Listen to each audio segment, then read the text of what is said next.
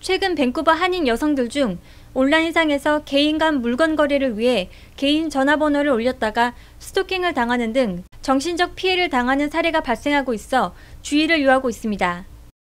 피해자 중 한 명인 A씨는 밴쿠버에서 생활하다 귀국을 하게 되면서 1월 초순 자신의 소지품을 팔기 위해 한 유명 인터넷 카페에 자신의 휴대전화 번호와 함께 광고를 게재했습니다.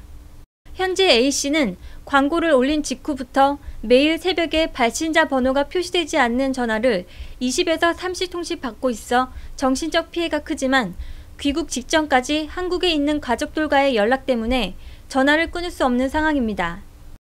밴쿠버 총영사관은 지난 26일 밴쿠버 경찰청에 전화 스토킹 피해 신고 및 수사를 요청한 상태입니다.